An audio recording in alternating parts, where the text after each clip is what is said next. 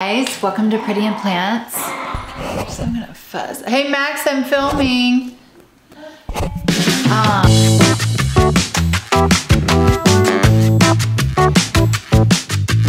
um, yes, it's the new year. I'm so excited. And um, if you're new to my channel, I do lots of planty things and I'm converting, oh, I've converted most of my plants. Whoops. So welcome to my channel. Thank you so much for subscribing, for finding me. Um, I really appreciate all of my subscribers helping you in your semi-hydroponic journey. So fear not, it is not too difficult. And I'm gonna start out this year, um, my first video of the year, I'm gonna do my top 20, it might be more, but top 20 easy plants to put in semi-hydroponics. So, so far I've had, um, I would say an 85 to 90% success rate. I have lost a few plants. Um, but for the most part, I've had a really good success rate. But some of the plants are definitely easier than others. So let's just dive right in. I'm not doing them in any particular order. Um, converted pretty easily. If you are new to semi-hydroponics, make sure you watch my watering videos and some of my other, other videos. But if you're not new um, or you're kind of in research phase, this is a good video for you because all the plants are super easy. I personally put pothos in a not easy category. And so a lot of people, they're like, ooh, if it's easy in dirt, it'll be easy in semi-hydroponics. But I personally haven't had that experience. Some of my easier plants um, in dirt have not been as easy in semi-hydro. So let's get started. Um, number one, the prayer plant, the Marantus or whatever, um, that plant was super easy. I just kind of got the dirt off, put it in semi-hydroponics.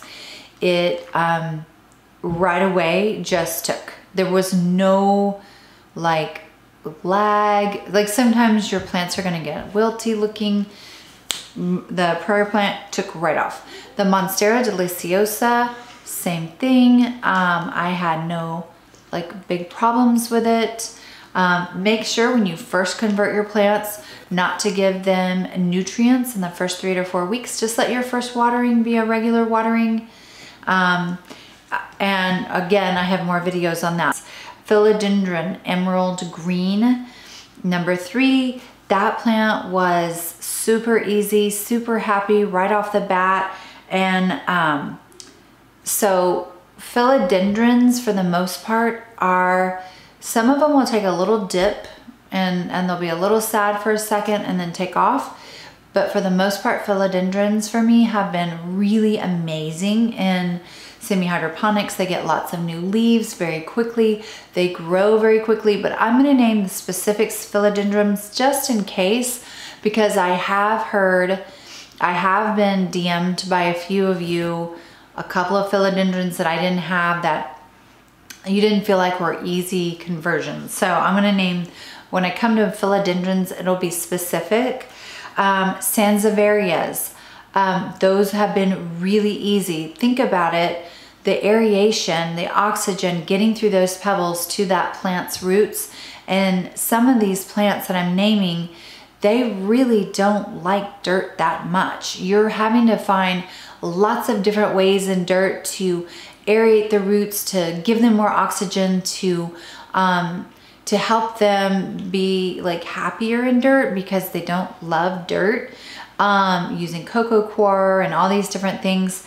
So it makes sense to me that Sansevieria would do very well in semi-hydroponics. Same thing with the ZZ plant, um, the regular ZZ and my ZZ Raven. Both of those have done phenomenal in semi-hydroponics. Um, the cool thing about it is some of these plants you don't want to water very much. Um, a lot of these semi-hydroponic um, pictures on Instagram, they're really exciting. Um, you're seeing lots of water. With these plants, I call them dry root plants, Sansevieria, ZZ plant, um, those, uh, aloe vera is a really easy plant. Let me try to go in order here though. They are dry root plants and so you can uh, wash off all the dirt, get them wet, let them, let them get a good drink of water at your sink. Put them in some dry leca. Let them be dry week, two weeks. Then you can take a mister and just mist the top of the leca and kind of let the mist go through those pebbles and just take your time in getting it used to being in leca. Is my rattlesnake calathea, which is, um, this is my rattlesnake calathea. That's my second one. Um, I have two of them. Now this plant has not done as well for um, my friend Small. Um, she changed her channel name. I think it's uh, Semi Hydroponics with Small. For some reason, hers has not done as well. Now, I'm not a huge calathea person because I don't do humidifiers. However, I mist my calathea. I do mist and misting is enough for the rattlesnake calathea and it's got tons of new leaves, loves semi-hydroponics, roots growing down in the pebbles, the whole thing. Um, number seven, the parlor palm. I kind of bought this as a joke and just as a filler plant and it's really taken off and looks really cute. And I'll put my picture up um, of my parlor palm. Has done great from the very beginning, never had issue. The Hoya Crimson Princess. I don't know if I said that in the right order. Really loves semi-hydroponics. Um, and you can, again, that's kind of a dry root plant. It'll kind of fuss a little at the beginning. You don't want to overwater them. You can rot the roots.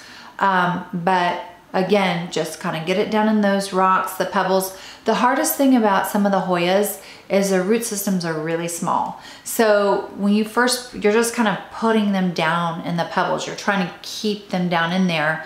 And then you're just gonna miss the top for the first month or so. But pretty quickly, mine perked up and were ready for water. Emerald red. I don't know what that one is, but it's loved it from the very beginning. Um, it's one of the first plants I converted and just took off immediately. The Philodendron Prince of Orange. Again, it was one that I got a very small one of it and converted it. It just has gotten new leaves and converted very easily. Um, the Carnosa compacta, the Hoya Carnosa compacta actually has done really well. Um, I have a variegated one and a regular one. The regular one has grown really long in the um, leca. The Hoya Crimson Queen has done well. Now it hasn't taken off quite yet like my, um, and I think that has to do with the size of the roots. The Dendron Mayoi, um, now that one I got, it was a mail order and it was kind of sad at the beginning and so I babied it and I have another video on that. But once it took off, when I put it in leca, it really took off. Loves it. Um, my starfish Sansevieria, again, another Sansevieria um, that just loves it. It's gotten several new babies and new growth. My Monstera standleyana, that's a brand new plant for me. And I immediately, when I got it, took it out of its dirt, put it in semi-hydro, and in 10 days, it had three inch new roots. Um, amazing. The bird's nest fern, loves it, has never had an issue. Um, some of the, like the bird's nest fern and some of the ones with those little tiny fine roots, um, there to me that actually should maybe not be in the easy category.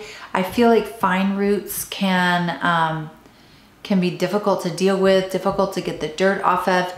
But sometimes what I'll do if it's a fine rooted plant is I'll just get as much dirt off as I can and just go ahead and put it into the pebbles, allow the dirt to kind of be part of what stabilizes a little bit, cover it with pebbles, and then be very gentle with watering and everything until it takes off. Now you'll know when your plant is taking off. You'll start getting new root shoots of leaves and um, my, uh, the fern, the bird's nest fern actually got bigger leaves.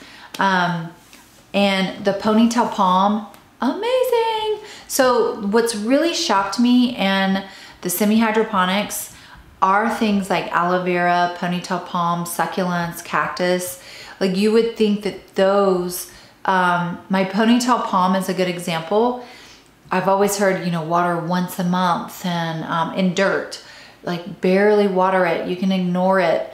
Um, my ponytail palm has grown about seven inches in about three months and it licks up the water almost every week. It really, really likes the water. So not all of the rules and dirt are going to apply once you put in semi-hydroponics.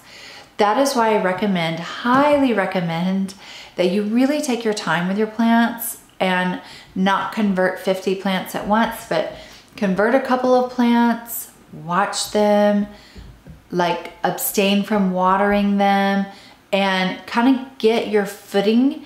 Um, my last video, I talked about converting one plant a month. I've really slowed down on purchasing, not because it's winter, because we're in Texas, I can go buy plants really year round. It was 70 degrees Fahrenheit today. It's January the 5th or 6th. So um, I can buy more plants and I have room for more plants. But what's stopping me is I know it just takes time once you've put it in LECA. If I take my time on a plant, it seems like I enjoy the process more and the plant enjoys the process more. So uh, I did that with the ponytail palm and I've really enjoyed it because it's really, but I have kept a really good eye on it. Um, Philodendron Jungle Boogie. I love this plant. It has never complained about the semi-hydroponics. It was a giant plant when I bought it. It was probably a $50 plant because it was real big and huge and fluffy and literally zero problems, zero. Like I think I flushed it or soaked it one time, maybe. It absorbs all the nutrients. It loves the water. It gets new leaves almost every three days. That thing is amazing and fluffy.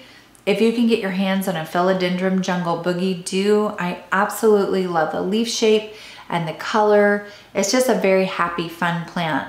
Um, the Philodendron Green Congo is another one. There's Red Congo and Green Congo. Both of those do amazing in semi-hydroponics. Now, there are gonna be some plants that I did not mention because I've had problems with them. The pothos does amazing in semi-hydroponics if it lives. The, um, and I've had several, I've had several work. Uh, um, maybe I'll put a card above for my pothos video. I actually have killed five, I think. Then I've had others that were cuttings and I put them in water and then I transferred them to LECA and they were just like, this is the best life ever. Um, so that's my pothos.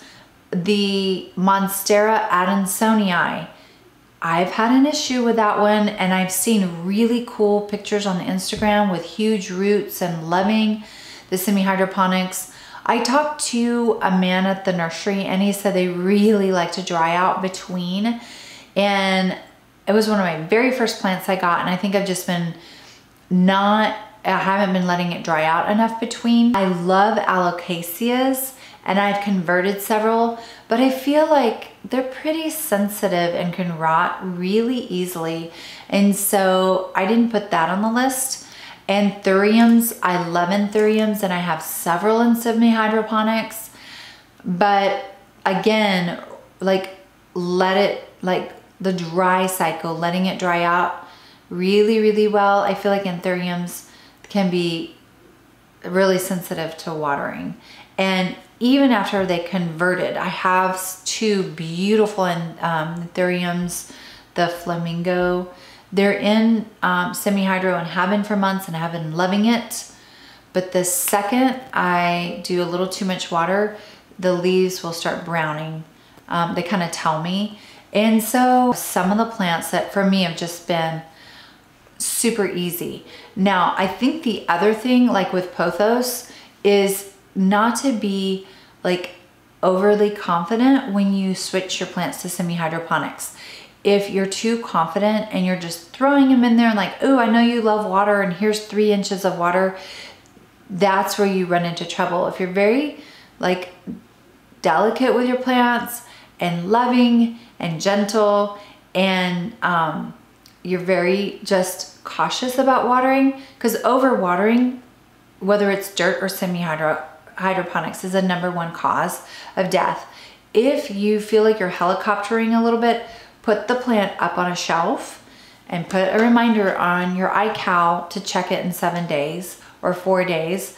Don't helicopter mom because that's the way I've killed a couple of things or at least things I haven't killed I've put into stress and then I've had to pull them out of stress and I'm trying to eliminate that I'm trying to get it to the point where none of my plants are in stress. the very beginning, the first four weeks, I do a lot of steam. I have a steam shower. Uh, my bathroom, we use the shower constantly. We have five children. They like to use our shower. So I will actually put plants in the shower for the first three or four weeks, um, which has helped me get a really solid conversion um, is lots of steam at the beginning. And then once they're established and rooted, my, my just misting once a day and putting them where I want them has seemed to work really well. So I hope this helped y'all. Oh, another plant that is not easy is ficus. Um, they will convert, but they require very light uh, watering and just a lot of attention for four months. So your ficus, your ficus lyrata, if it's a little tiny one from Lowe's or something, have fun. But mine is a really, really, I have big trees on the ficus category, big rubber plants, the Tineke. Those rubber plants, uh, ficus, um, do really well. Actually, um, same thing though, I feel like all of the ficus, the roots are very prone to rotting easily. And so if you're not pretty accurate with your watering, you can rot it out in one watering and it doesn't give you, there's not much leeway there. So I hope this video helped y'all. I'm so excited for this new year. And um, I'll probably talk a little bit more about New Year's goals on the next show, but I wanted to get this top 20 easy semi-hydroponics plant video out first and can't wait to see y'all next time. Love you. Bye-bye.